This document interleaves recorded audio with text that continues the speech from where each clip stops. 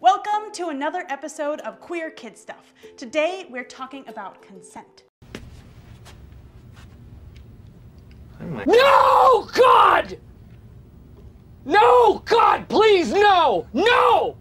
No! No! You ready, Teddy? Ready. Teddy, Yes, Lindsay? have you noticed that I always ask you if something is okay before I do it? Ready, Teddy? You ready, Teddy? Ready, Teddy? I guess so. And that I always wait for you to say yes before I keep going? Ready. Ready. Ready. Yes.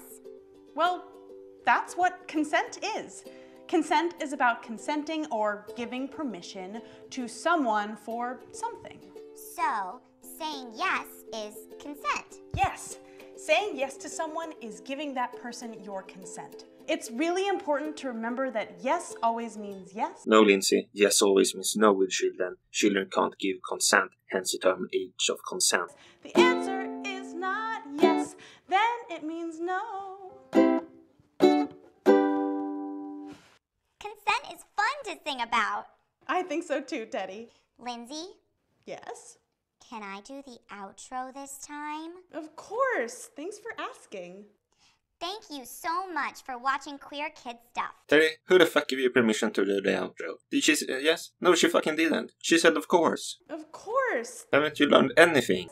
The answer